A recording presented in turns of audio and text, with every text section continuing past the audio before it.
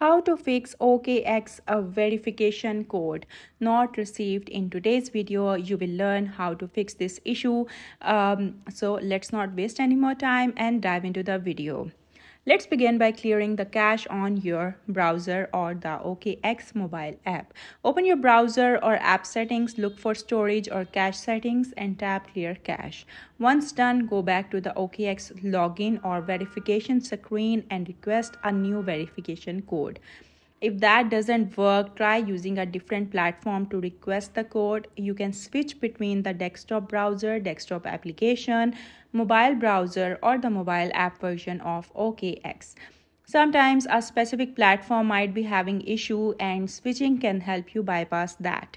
Next, check your network connection. Make sure your device is connected to a strong and stable internet connection either through Wi-Fi or mobile data Poor connectivity might prevent the code from being sent or received properly.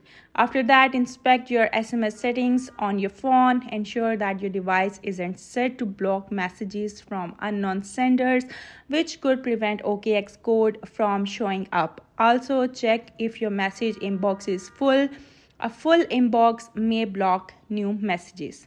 Finally, if SMS still isn't working, choose the option to receive your verification code via voice call.